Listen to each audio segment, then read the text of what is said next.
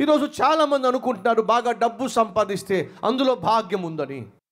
చాలామంది అనుకుంటున్నారు ఖరీదైన వస్త్రాలు ధరిస్తే అందులో సంతోషం ఉందని.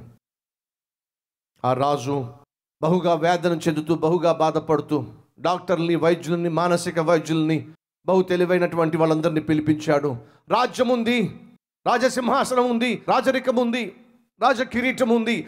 రాజు ధరించిన వస్త్రాలు ఉన్నాయి. కానీ నాకున్న సమస్య మీకు చెప్తున్నాను. ఏమిటి రాజా? నాకెందుకో సంతోషం లేదు. ఆనందం లేదు. ఏమిటో ఎ- లోపట ఎంతో ఎంతో విచారము దుఃఖము నాలో ఉంది. నేను సంతోషంగా ఉండాలంటే ఏం చేయాలి? రాజా మీకు రాజ్యం ఉంది. రాజు మీరు రాజు వస్త్రాలు ధరించి రాజు కిరీటం పెట్టుకుని రాజు సింహాసనంలో కూర్చుంటే మీకు ఇంకా ఆనందం లేకపోవడం. ఏమోనయ్యా? మీరు ఏదో ఆనందం సంతోషం అంటున్నారు కానీ నాకు మాత్రం ఆనందం సంతోషం లేదు. నేను ఆనందంగా సంతోషంగా ఉండాలంటే ఏం చేయాలో చెప్పండి లేదా మిమ్మల్ని చంపి పడేస్తా. ఏం చేయాలో తెలియక అప్పుడు అందరూ కలిసి రాజు దగ్గరికి వచ్చి రాజా దొరికింది జవాబు. ఏం దొరికింది? మన రాజ్యంలో ఎవడైనా బహుగా సంతోషంగా ఉంటే వాడి చొక్కా మీరు వేసుకుంటే చాలు మీకు ఆనందం వచ్చేస్తుందని చెప్పి. సైన్యాన్ని పంపించాడు దేశం మీదకి వెళ్ళి పట్టుకురండి. వెళ్ళి పట్టుకురండి సంతోషంగా ఉన్నవాడిని పట్టుకురండి. వీళ్ళందరూ వెళితే ఒక సంతోషంగా ఉన్నవాడు దొరికాడు. బహు సంతోషంగా ఉన్నాడు.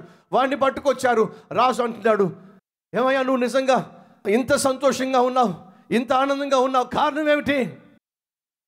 నా గుండెల్లో ఉన్నటువంటి ప్రభు అయిన యేసుక్రీస్తు వల్ల నేను ఇంత సంతోషంగా ఇంత ఆనందంగా ఉన్నా.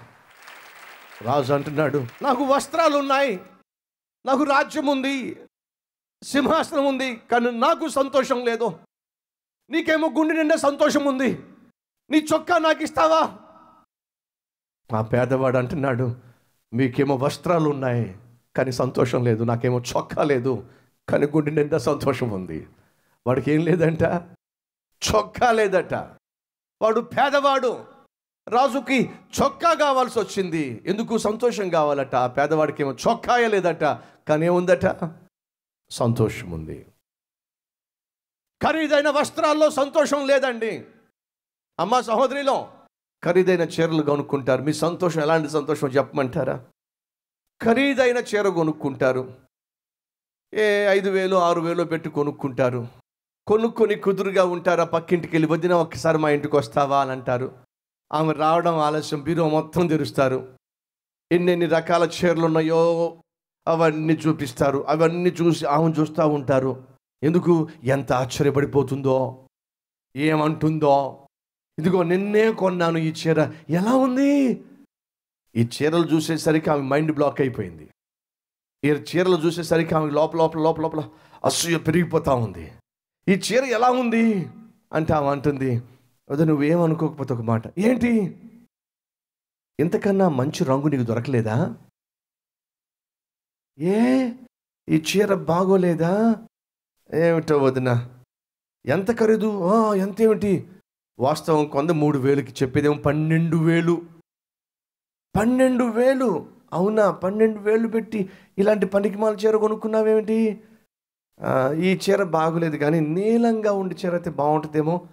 అవునా? గ్రీన్ చీర బాగాలేదా లేదు వదిన. అవునా?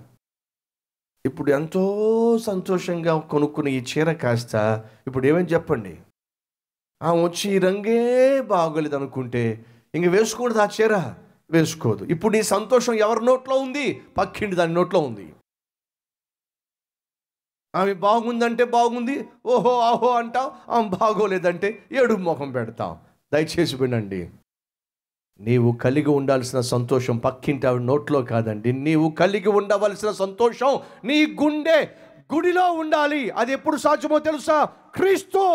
నీ హృదయంలో ఉన్నప్పుడు సాధ్యం. క్రీస్తు నీ గుండెలో ఉన్నప్పుడు నీ చుట్టూ ఉన్న వాతావరణాన్ని బట్టి వస్త్రాలను బట్టి బంగారం బట్టి వాహనాలను బట్టి వస్తువులను బట్టి భవనాలను బట్టి నీ సంతోషం ఆధారపడి ఉండదు. ఎందుకని? వీటన్నిటికీ మించిన వాడు నా ప్రభు అయిన యేసు. ఆ యేసు నీ హృదయంలో ఉన్నట్లయితే ఆ ఆయన అందించే సంతోషము సమాధానము ఈ లోకంలో ఏ ఒక్కరు నీకు అందించలేరు. ఈ సత్యం గ్రహించావా? యహోవా దేవుడుగా కలిగిన జనులు ధన్యులో. యహోవా ఎవరికైతే వారి కష్టాన్ని అనుభవించే భాగ్యాన్ని ఇచ్చాడో వాళ్ళు ధన్యులో.